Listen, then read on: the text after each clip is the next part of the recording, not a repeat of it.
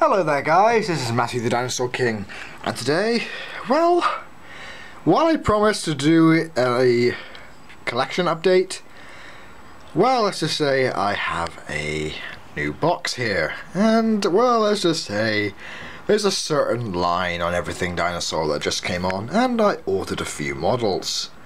So without further ado, let's crack this open.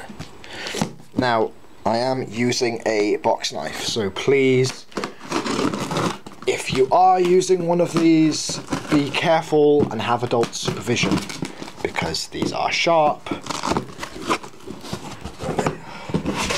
Sharp okay. First up we have got the fact sheets. We got the fact sheets here. Oh boy. Oh my god wow. Okay. Right. Let me just show you. Right first up we have the Battat Euoplocephalus who looks very very cool. Wow look at this beautiful figure. So we've got a, a description on the back so if you guys want to pause it you can have a read of that.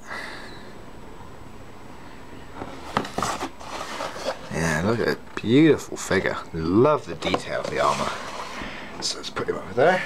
Next up we have a British dinosaur a Dacentrurus very very nice. Love the detail on the spikes. Look at that. Beautiful.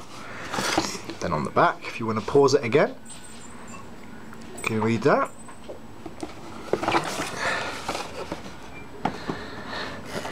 Him up there. Next up, we have the beautiful Parasaurolophus. Look at that. Gorgeous colour. Absolutely gorgeous colour. And if you want to have a re pause it again look on the back. So put him there. And then last, well certainly not least, the one I've been most excited for. Tyrannosaurus. Wow, look at this bad boy. You would certainly not want to mess with this one.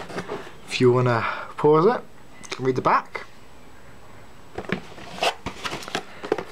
But yes, these are, oh yes, these are my new figures from Battat.